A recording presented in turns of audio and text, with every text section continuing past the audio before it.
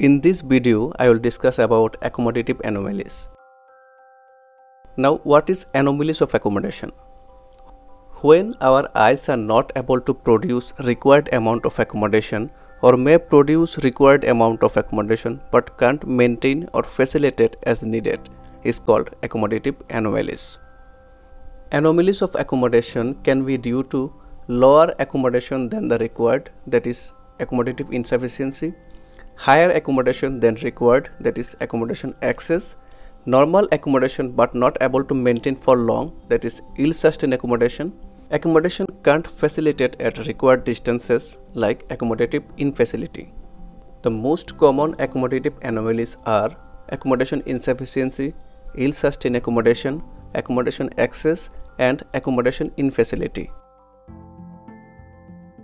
the six tests that allow us to identify these anomalies are 1. Amplitude of accommodation 2. Near point of accommodation 3.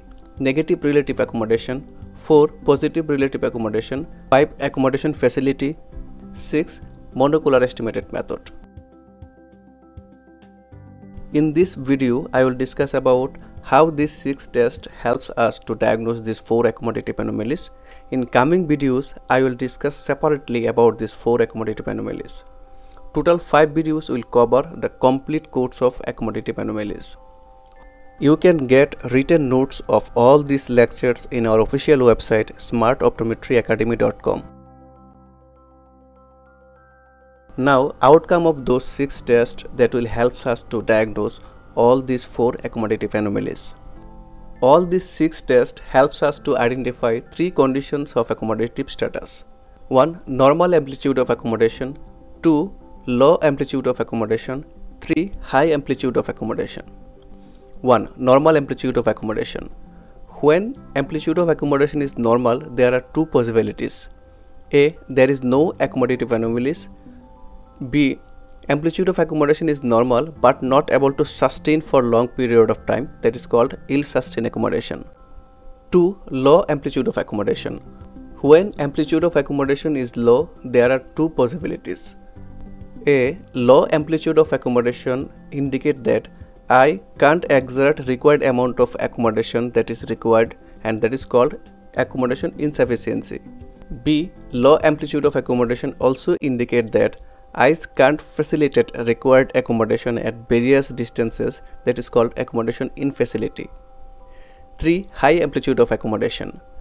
High amplitude of accommodation indicate that eyes exerting more accommodation than required that is called accommodation excess. Now let's see the first two tests amplitude of accommodation and near point of accommodation.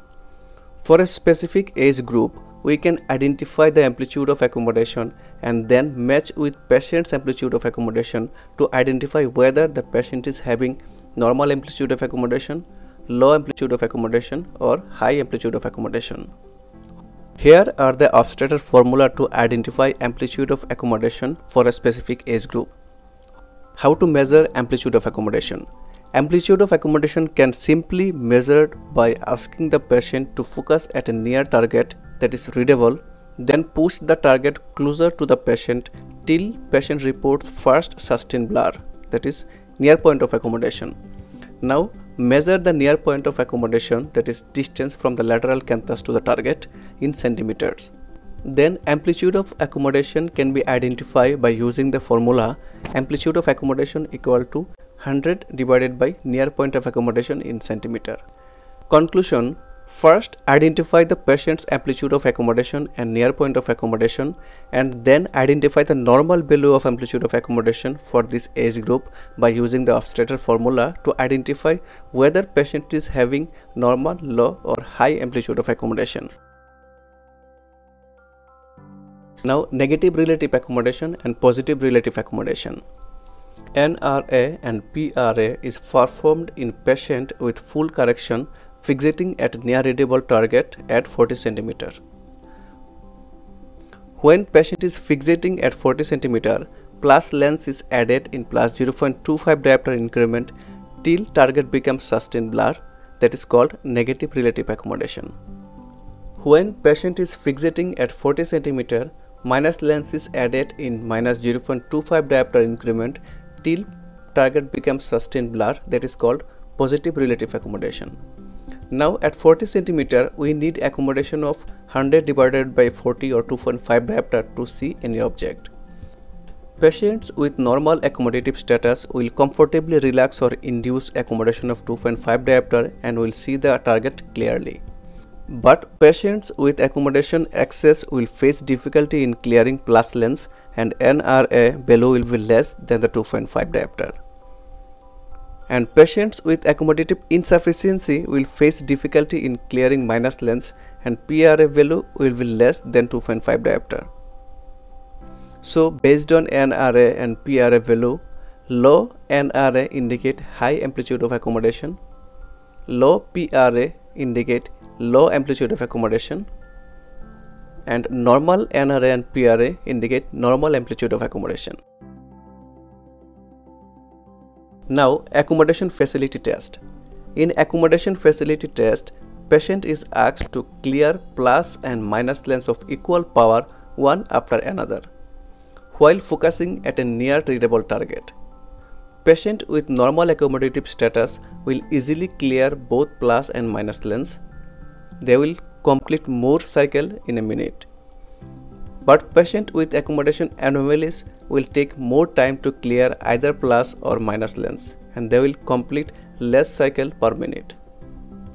Based on NRA and PRA value, difficulty in clearing plus lens, high amplitude of accommodation, difficulty in clearing minus lens, low amplitude of accommodation, and no difficulty in clearing plus and minus lens, that is normal amplitude of accommodation.